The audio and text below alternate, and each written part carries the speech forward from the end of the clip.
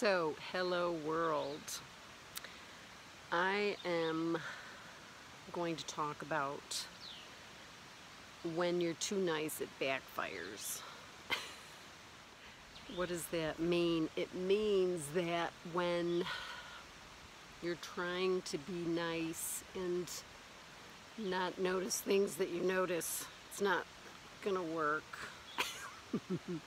For example, um, lately I've been noticing how little people listen. Here's how you can tell. Um, you say something and whatever the other person was talking about just continues rolling. There's absolutely no recognition of something you just said. Um, another thing that people do that you can be too nice about is blaming you for something they did. um, like recently, I'm staying uh, in a place where at 4.30 in the morning on a certain day, 35 foot trucks show up, unload, and rev their motors about 20 feet from my bed. Oh, for about three hours. Eight of them showed up. Um, so I'm moving. And I was told, well, you don't have a car, so I said, so you can't go anywhere. I said, at 4.30 in the morning in the dark? No, no.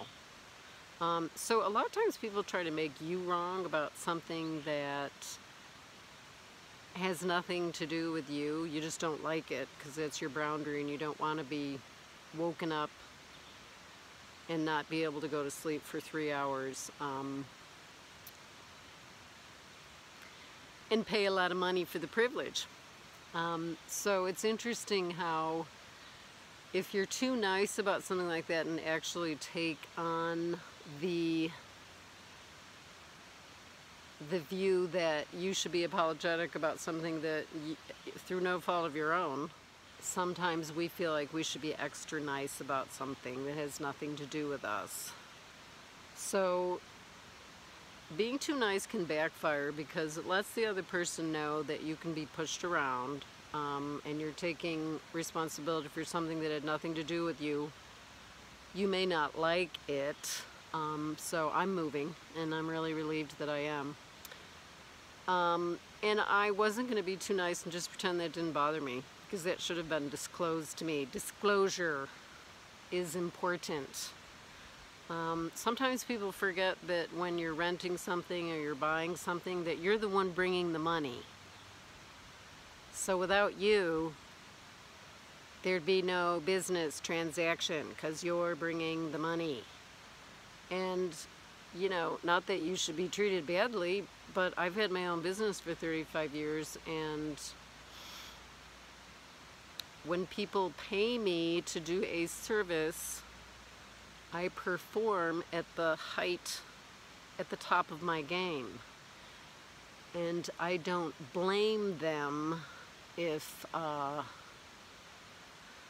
like one time when the Rodney, can't remember that guy, it was like 25 years ago, the whole world fell apart in California because of the riots in LA. I got some film lost and I'm not going to blame that on my clients. I'm going to try and make it up to them.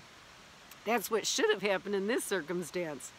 Um, so, you know, don't skulk around or act like you have to be extra nice to people that really have not been treating you with respect because it's going to backfire. So that's what I'm saying.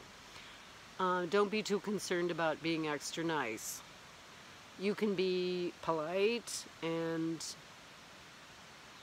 equanimous, which means you're not affected either way. That's a challenge, but I wanted to talk about that because that's what happens in life and with all of this stuff going on in the world. Oh, oh my God. Let's just try and be calm. So I'll leave you with that and thank you for your questions and your comments and uh, I just love this community and I'll see you in the next video.